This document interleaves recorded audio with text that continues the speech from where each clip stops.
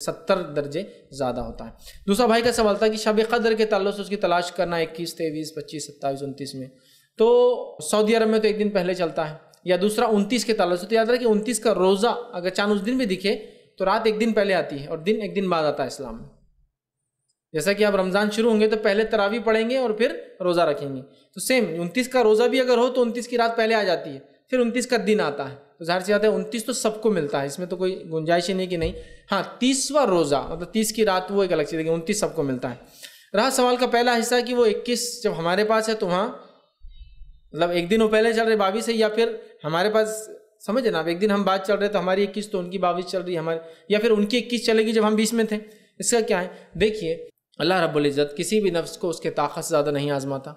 तो हमारे लिए हम अपना चाँद देख कर अगर कर रहे हैं तो हमारे लिए अल्लाह ताला हमारी इक्कीस, हमारी तेईस, हमारी पच्चीस, सत्ताईस और उनतीस को रखेंगे, उनके लिए उनकी होंगी। इसलिए मैंने कहा उनमा का ख्याल है कि ये घूमती भी हर साल। तो हो सकता है एक ही उसमें कई इलाकों में अलग, जैसा कि आप सिर्फ़ एक दिन सऊदी अरब का ले, लेकिन अमेरिका उससे और एक दिन आगे चलता है, चाँद के अतबार से। सूरज के अतबार से जापान से शुरू होंगे, उधर से उल्ट, चाँद उल्टा चलता है तो वो एक दिन और पहले, उसके सऊदी अरब। फिर हम और हमारे बाद, फिर एक दिन बाद मलेशिया इंडोनेशिया, वो हमसे एक दिन बाद चलते हैं ईद के। चाँद के एतबार से।